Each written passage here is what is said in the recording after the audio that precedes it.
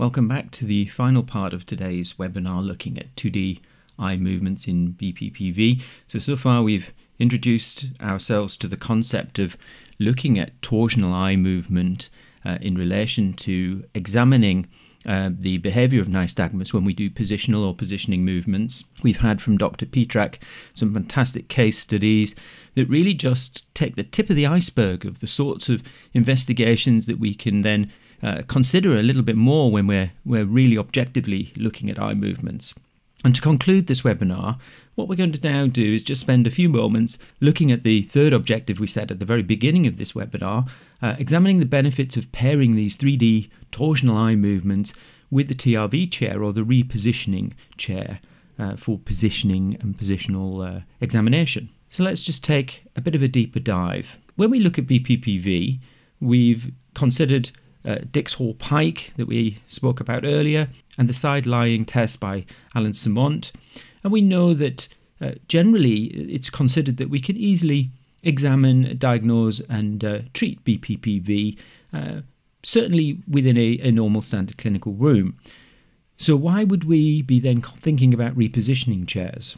Well, for those of us that do regular examinations of patients with uh, suspected BPPV, we know that in our older populations, we're certainly coming across heavier patients with dizziness across that whole spectrum of dizziness uh, disorders.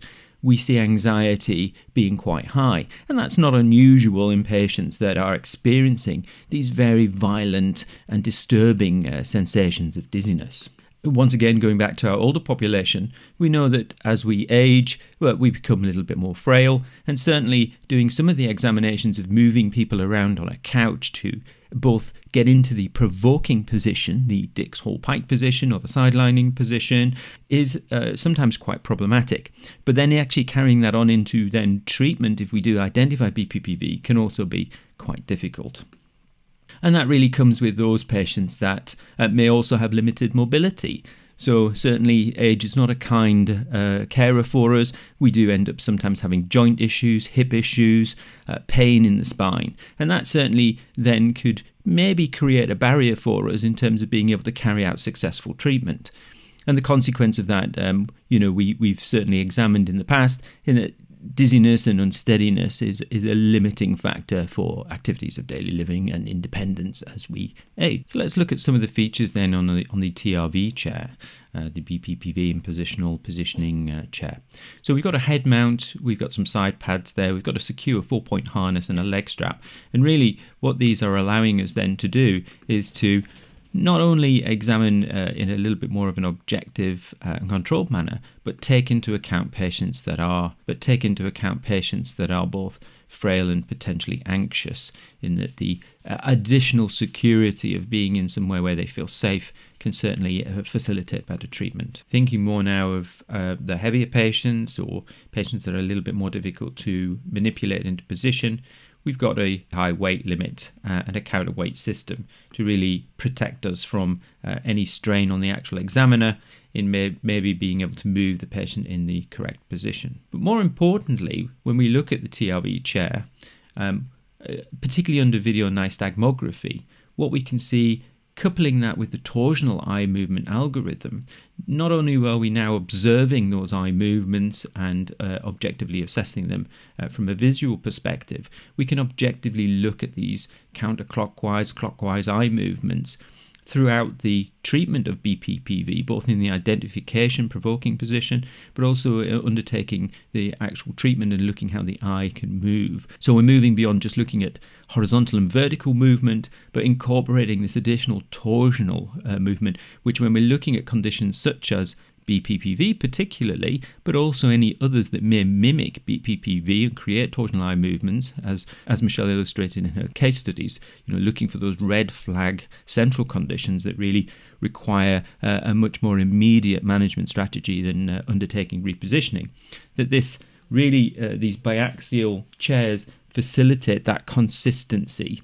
So then looking at that from a treatment perspective, uh, whether we're undertaking a Epley maneuver or a Lempert roll, uh, whatever the uh, position may be. So, what the TRV uh, biaxial chair, biaxial we mean moving around more than one axis, that allows us as a clinician to facilitate a consistency of speed, angle, and amplitude. And certainly, in less experienced clinicians or people who are more recently entering into looking at these disorders, that technique uh, does come with time. So, having something that takes the burden off the clinician can uh, obviously be welcomed into clinic.